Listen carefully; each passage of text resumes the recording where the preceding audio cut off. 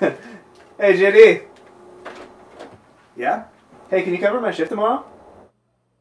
Oh, I can't, man. Uh, it's from 11 to 5, though. I work 11 to 5 too. Alright, Uh, sorry, oh. man. Okay, then.